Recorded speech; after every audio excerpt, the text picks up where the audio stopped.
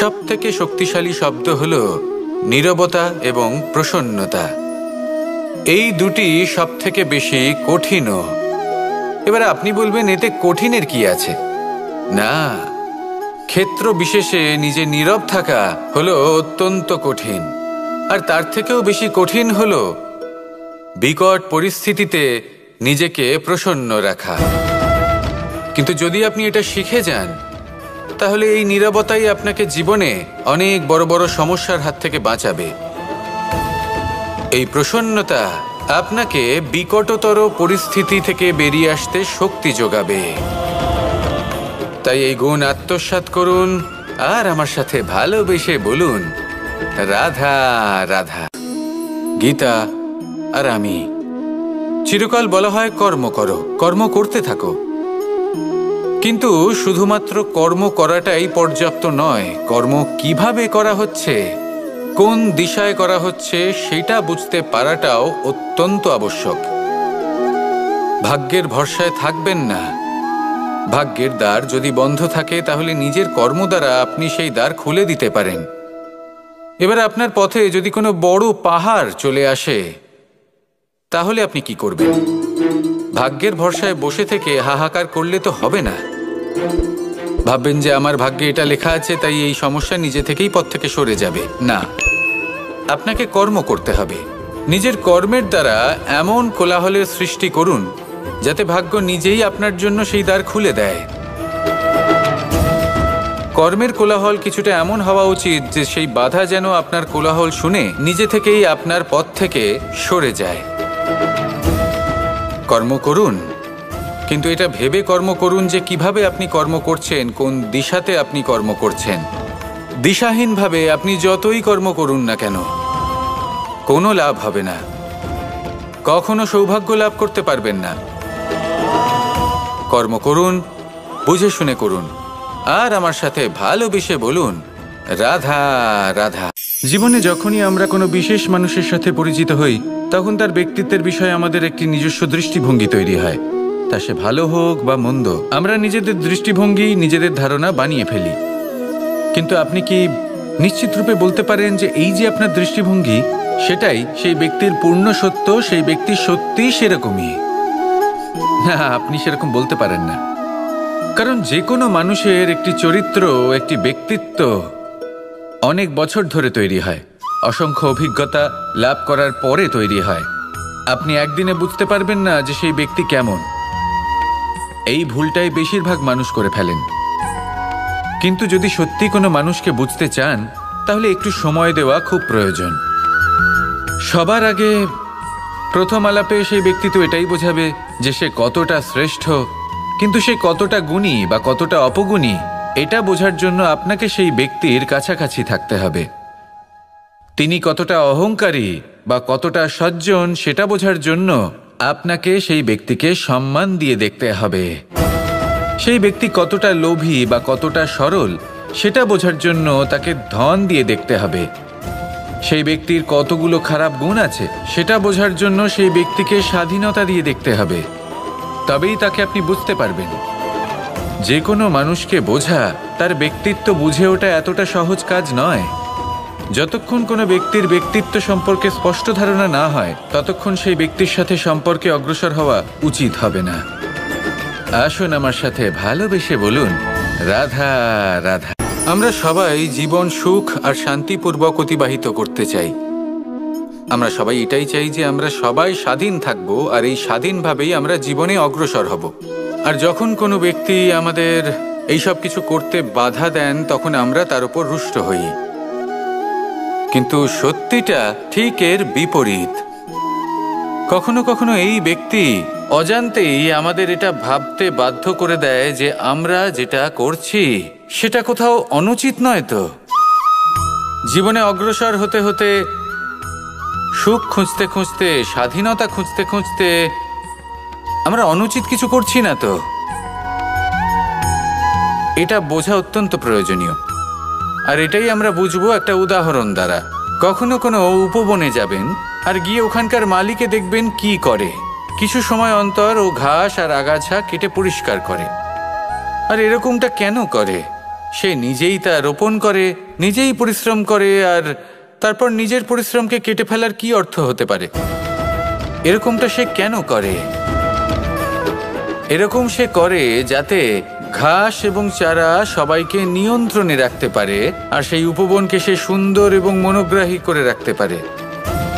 এটাই হলো ওর উদ্দেশ্য।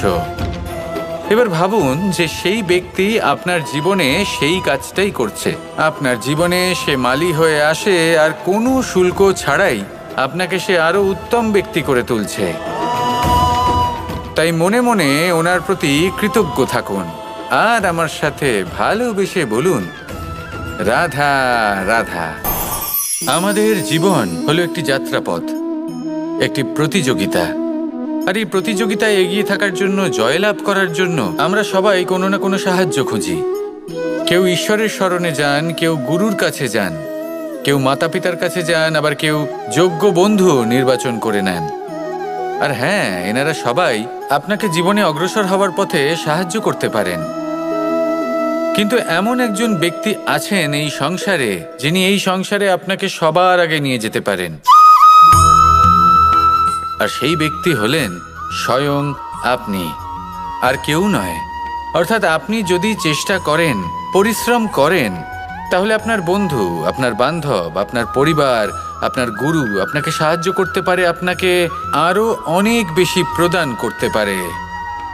কিন্তু যদি আপনার চেতনাই না থাকে তাহলে কেউ আপনাকে এগিয়ে নিয়ে যেতে পারবে না।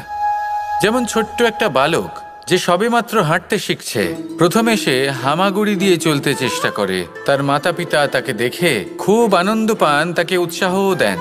সেই ছোট বালক দাঁড়াতে চেষ্টা করে, হাঁটতে চেষ্টা করে, আবার পড়ে যায়, আবার উঠে দাঁড়ায়, আবার চেষ্টা করে, আবার পড়ে যায়। আর ভবিষ্যতে গিয়ে সে হাঁটতেও শিখে যায়, আবার দৌড়তেও শিখে যায়। এই সংসারে আপনি যে কর্মই করতে চান না কেন? যে স্বপ্নই আপনি পূর্ণ করতে চান না কেন, সেটা আরম্ভ হবে আপনাকে দিয়ে। আপনার কর্ম দ্বারা। তাই কর্ম করতে শুরু করুন। বাইরে থেকে সাহায্য পেতেই পারেন। তা সদ্ব্যবহার করুন আর আমার সাথে ভালোবেসে বলুন, রাধা রাধা। জ্ঞান। এই সংসারের এই জীবনের আধার হলো জ্ঞান। আমরা সবাই জ্ঞান লাভ করতে চাই। সামনে অগ্রসর হতে চাই। কারণ আমাদের লক্ষ্য পূরণ করাই হোক, আমাদের পথ খোঁজাই হোক, বা যে কোনো কাজ হোক, এই জ্ঞান আমাদের সাহায্য করে। এই জ্ঞান অত্যন্ত আবশ্যক, কিন্তু অনেক মানুষ এটা বুঝতেই পারেন না যে জ্ঞান কীভাবে অর্জন করা যেতে পারে। কীভাবে এই জ্ঞান লাভ করা সম্ভব হতে পারে? কি কর্ম করতে হবে, কোনটা ভাবতে হবে, ওনারা না রীতি জানেন, না নীতি জানেন। সেই জন্য ওনাদের জীবনে জ্ঞান আসে না, তাই দুঃখী হয়ে পড়েন। আর এখানে বলি দুঃখ পাওয়ার কোনো কারণ নেই। আপনার জীবনে জ্ঞান আসেনি? এটা কোনো লজ্জার বিষয় নয়। লজ্জার বিষয় হলো এটা যে জ্ঞান লাভের জন্য আপনি প্রস্তুতি নন। আপনি তৎপর নন, আপনি চেষ্টাই করছেন না।